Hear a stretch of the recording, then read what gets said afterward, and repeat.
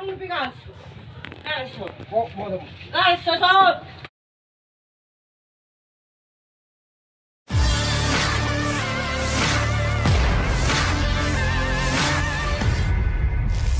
Beredar rekaman video amatir memperlihatkan aksi seorang wanita dan pria diduga pasangan suami istri atau pasutri melakukan tindakan kekerasan pada penjaga warung tua. Videonya diunggah berbagai media sosial, salah satunya akun Instagram @kabar.jalanan Sabtu 16 April 2022.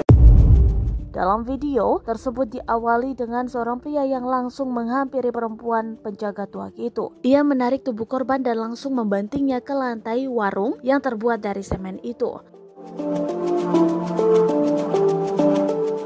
Nampak beberapa cergen tuak sudah berjatuhan di lantai tersebut. Tak hanya itu, si pria juga memukul tubuh korban beberapa kali bahkan sampai menginjak-injak kepala korban. Tak berselang lama, salah seorang perempuan lainnya yang diduga istri dari pelaku ikut-ikutan menginjak kepala korban.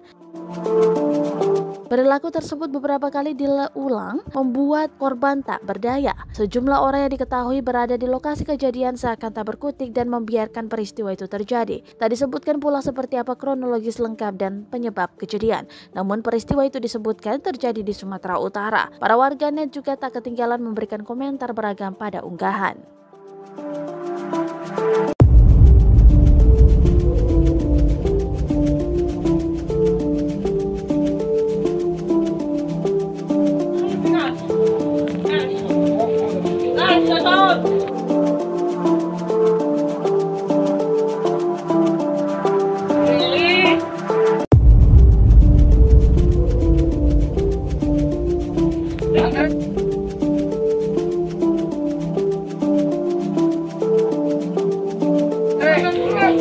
katapusan nyo.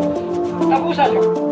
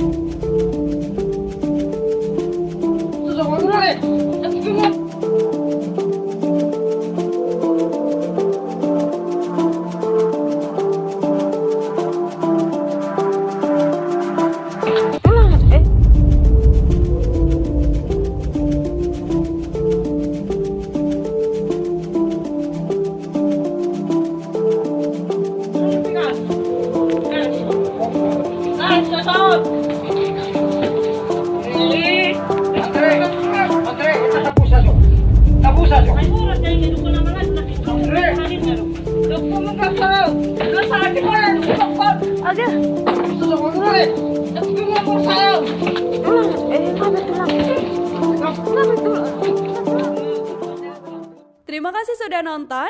Jangan lupa like, subscribe, dan share ya.